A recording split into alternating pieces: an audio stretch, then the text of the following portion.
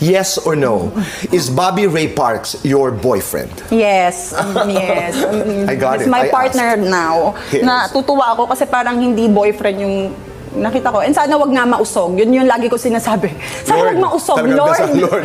Ibigay nyo na to kasi is really a good man po. Yes. Hindi naman ako magtitiwala agad-agad kung hindi niya rin naman in-earn yun sa akin. And pinatunayan niya naman na yung sarili niya. He's a good guy. Yeah, first time ko na pagtanggol. Oo. Di ba? Yung parang hindi mo na kailangan na-explain sarili mo kasi merong mag explain Yeah, para sa'yo. he's a good guy.